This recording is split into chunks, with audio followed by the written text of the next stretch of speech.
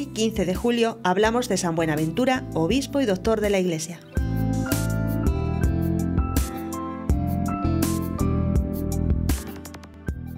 San Buenaventura nació alrededor del año 1218 en Bañorello, en la región toscana.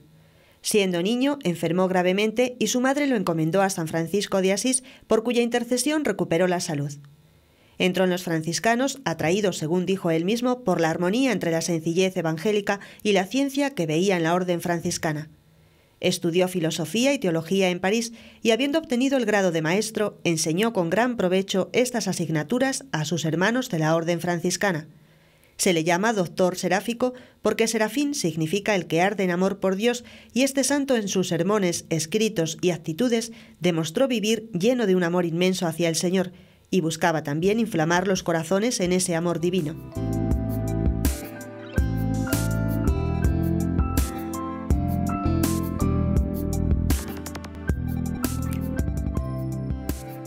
Fue elegido ministro general de su orden, cargo que ejerció con prudencia y sabiduría.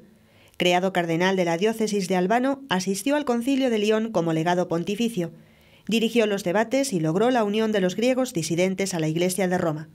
San Buenaventura tenía una exquisita bondad en su trato, una amabilidad que le ganaba los corazones, un modo conciliador que lo alejaba tanto de la extrema rigidez como de la relajación. Sus virtudes preferidas eran la humildad y la paciencia puso todo su empeño en imitar a Cristo, camino del alma. La pasión era el tema preferido de sus meditaciones. Su amor a la Virgen María era intenso y por todas partes recomendaba el rezo del Ángelus o de las tres Ave Marías.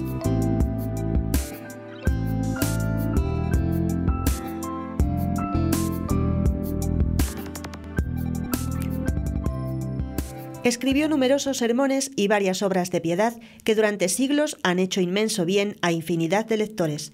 Una de ellas es Itinerario del alma hacia Dios, una joya de la mística.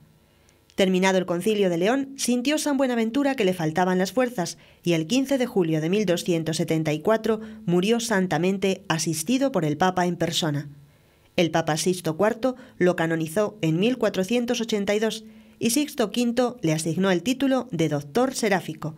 León XIII le declaró príncipe de la mística.